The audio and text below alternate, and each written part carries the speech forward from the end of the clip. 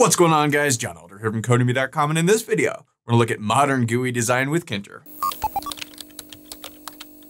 Alright guys, like I said in this video, we're gonna look at modern GUI design with Tkinter. But before we get started, if you like this video and want to see more like it, be sure to smash like button below, subscribe to the channel, give me a thumbs up for the YouTube algorithm, and check out Codemy.com where I have dozens of courses with thousands of videos to teach you to code. Use coupon code YouTube50 to get 50% off memberships, all my courses, videos, and books for one-time fee, which is insanely cheap. All right, guys, like I said, in this video, we're gonna look at modern GUI design with Tkinter. And one of the biggest complaints that I get, and I get it a lot, is that, yeah, Tkinter is really easy to use, but it looks clunky, it looks old, it looks outdated. We just can't have that. What's the use of it if it looks like it's from the 1990s, right? No more. Somebody finally fixed this. And this is amazing. Finally, there's a library out that allows you to do modern GUI design. And look at this, we've got an app right here, a little example. It's modern looking. If the title bar here is black, that's really hard to do normally. Uh, some of these things, you know, there's rounded stuff. The colors are more modern looking. The buttons look modern. You hover over them and they change. And just playing around with this thing, you can see we can do all kinds of stuff here. Going to click on these things. This is an entry box. It looks definitely more modern. Very cool. And there's just tons of customization you can do with this library. So we're going to start to talk about this thing in this video. I'm going to set this up, show you how to create this, show you uh, where you can get more information. And then in future videos, we'll dive into this in more detail because there's a lot of stuff to unpack here. And this is really, really cool. So let me go ahead and close this. Head over to our code. I'm using the Sublime Text Editor and the Git Bash terminal as always. And as always, you can find a link to the code in the pinned comment section below, as well as a link to the playlist with all the other Tkinter videos in this series, over 200. So check those out if you haven't so far. So I've just got a file here. I'm calling it cust, short for customized, I guess, Dot .py. It's in my C GUI directory. And let's head over to the web to our web browser real quick and check out github.com forward slash Tom Schimansky forward slash custom Tkinter. And I'll put a link to this in the description below. We talked about Tom a couple of videos ago with the map view. This is the same guy that created that map view we just did in the last couple of weeks. He's created this custom Tkinter library, which is just absolutely amazing. So you can come through here and look at this and read all about it. If you want to look at the documentation, you can click on it here. You can see here's a list of all the different widgets you can use. If you want to like use a button, for instance, you can click on here.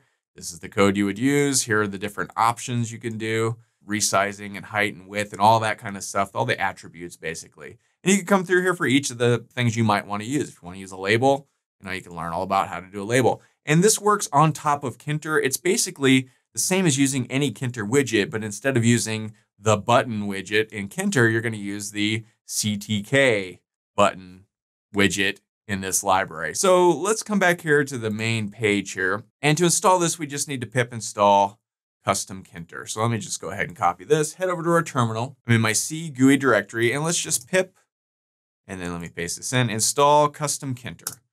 And it will go through and do its thing. That's all there is to it. Now we can start using this. So what I'm gonna do here in this video is head back over here and we can come up to the examples library.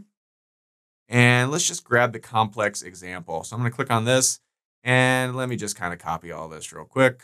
We're going to do the lazy way to copy this. I'm just going to copy this, head back over to our Sublime Text and paste this in.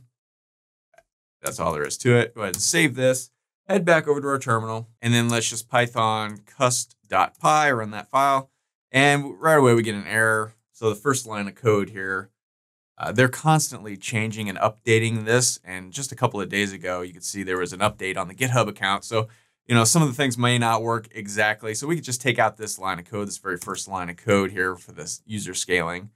And if you come back over to the GitHub page, come back here, we see here he fixed scaling two days ago. So maybe he didn't fix it or he didn't push the upgrade to the pip repository thing or whatever. But anyway, we can comment out this line, go ahead and save this, head back over to the terminal, run this guy again, and boom, we see right away, know, if we unclick it, it turns dark. If we click on it, it goes blue. And it's very cool. So we can switch to light mode. This is what light mode looks like. If we click off of it, see the white bar at the top. If we click on it, it turns blue. That's just a Windows thing. You could change that in your Windows settings for all apps. You know what I mean? How you do that in Windows display or whatever. So very cool. We've got modern looking sliders, modern looking buttons, modern looking entry boxes. This whole sort of gray thing here is very cool. And you'll notice these buttons are blue. it's very easy to customize this in a lot of different ways. So if we head back over here, we could see, uh, you know, the default theme is blue. And here's a couple other ones. We could go dark blue or green. Let's try green. I don't know. Go ahead and just change it to green. Head back over here, run this guy again. Boom, now everything is green. Very cool. Just that easy. Very modern looking. And very awesome. Uh, we can keep playing around with it. I don't know. Let's, let's go dark blue. What does dark blue look like? Save this, run it again. All right, nice dark blue buttons. I like that. Whatever you like, all kinds of different options here. And the the mode, like the appearance mode is system. We also have dark or light, so we can change this to, I don't know, dark.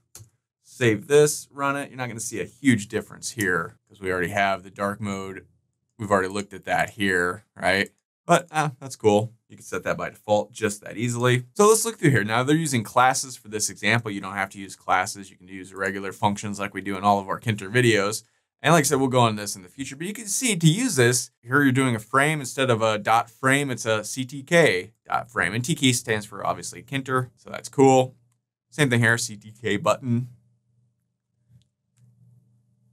And you'll notice you can do all of the same regular Tkinter stuff. This works on top of Tkinter, and it's just that easy. If we come up here to the top, we can see, yeah, we're importing Tkinter, we're still using it. We're just also importing custom Tkinter. And that's really all you need just to import custom Tkinter like that. And now you could start using it. And we could look at a very basic example. This is just very basic. Like I said, to use this, you just import custom Tkinter, set these two attributes at the top, the basic color system you want to use. If you want to use dark mode by default, you would put that there. Here you have uh, blue, dark green, and green. And I believe you can add your own color themes fairly easily using JSON, but we'll get into all that later. And you can see right here, you know, we're just creating a root like we always do, but instead of making a TK instance, we make a custom tkinter.tk instance. And that's really kind of it. Again, down here to use a button, we just set a button equal to that, right? Stuff inside of here looks very familiar to the regular Tkinter that we always use. So like I said, we'll get into all of this stuff in future videos. You can see you can put images on buttons. Very cool. Remember, here's that map widget we talked about. It shows you how to integrate this custom Tkinter into map widget, which is cool.